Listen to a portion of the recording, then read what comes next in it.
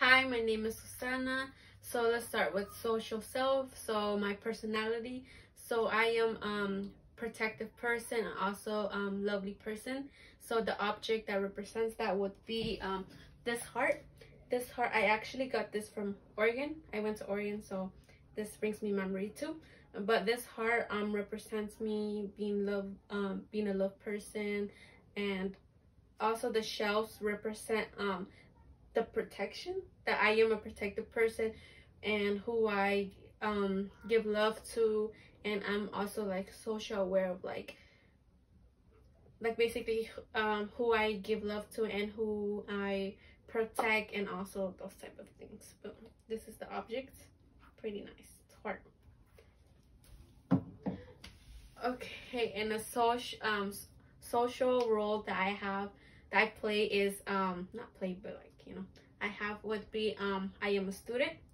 I'm a college student so the object that represents that would be this teddy bear that I actually got um when I was I think in fifth grade when I graduated in fifth grade. Not graduated but when we had the ceremony fifth grade. Um this represent me as a student. It has a diploma and it has like this medal which um which what school represents to me. This is the object.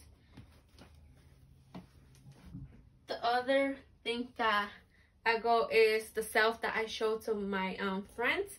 So what I show to my friends is that I'm funny, um, I'm caring, and I'm independent too. And the object that represents that is that this is um, a funny emoji ball that I found um, right here. It's the object. And another object of being in carrying the same thing as the heart like um really soft and being protective to my friends and stuff like that. So yeah that's pretty all. Thank you